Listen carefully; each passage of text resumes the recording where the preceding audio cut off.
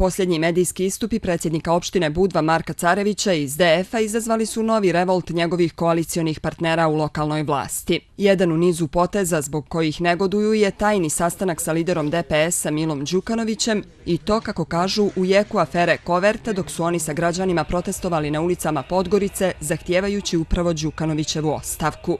Zato traže odgovore na pitanja. Kada je i pod kojim okolnostima došlo do sastanka gospodina Carevića sa gospodinom Đukanovićem i ko je sve prisustvovao tom sastanku? Po dva, ko je dogovorio sastanak i zbog čega je do sastanka došlo ako nema službene potrebe, obaveze i potrebe za sastankom i komunikaciju?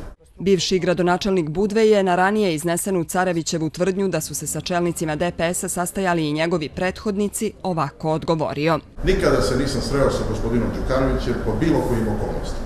Pogotovo ne jedan na jedan. I ako gospodin Carević ili bilo ko drugi dokaže da nije tako, da sam obmanuo javnost, ja ću odmah otvoriti ostavku i povući se iz javnog života.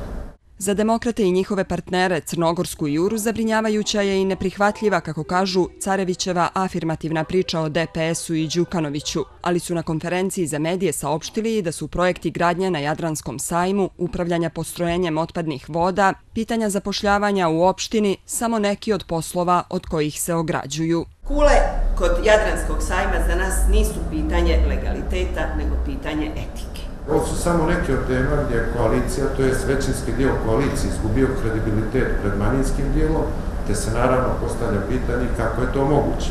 Zato je, poručuju, loptica sada u dvorištu Carevića i DF-a. Naglašavaju i da im nije namjera da ruše vlast, makar za sada. Međutim, ukoliko nakon sezone nemamo odgovore sa svih upitanih adresa, kao i ukoliko saradnja i tajni sastanci sa čelnim e, ljudima DPS-a urode plodom i njihova posljedica bude realizacija DPS-ovih zamisli i projekata, od kojih ćete neke vidjeti malo kasnije, mi sada javno i jasno kažemo da u takvom nečemu mi dalje ne možemo učestvovati. Zaključuju i da je sada neophodan bitno drugačiji pristup kako bi se nastavila saradnja i to strogo na formalnom nivou, jer su dosadašnji postupci Carevića, kako kažu, eliminisali mogućnost saradnje u ljudskoj i kolegijalnoj ravni.